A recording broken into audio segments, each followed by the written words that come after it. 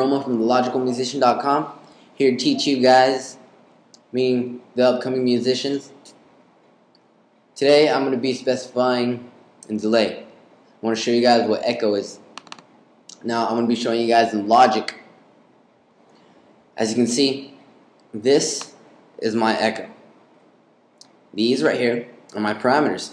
I have time, repeat, color, dry, and wet.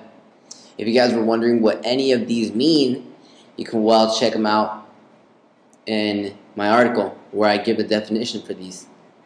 But let's hear what the, these sound like. We're going to mess around with these parameters.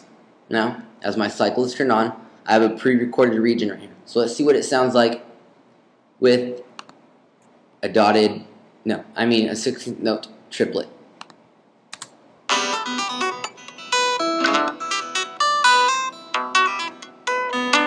Now, if you guys kind of heard the echo in that, it's kind of weak. So, what I want to do I'm turn my dry down and turn my wet up. Turn my color up. I'm also going to turn the repeat up to 61%. Let's see how that sounds. Now, if you guys heard, now we can hear more repeat. So, that will, that is because my dry is set to 27%. The dry is set to low.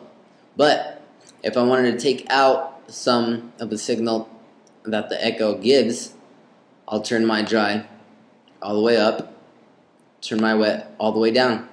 Now this is going to give it a plain sound. So it doesn't even sound like it has echo on it.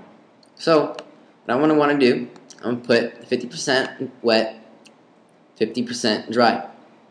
Now, let's turn up the repeat, turn up the color, see how that sounds.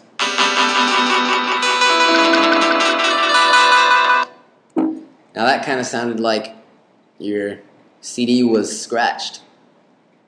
Well, I hope this was pretty informative to you guys. This is Roma at thelogicalmusician.com. See you guys later.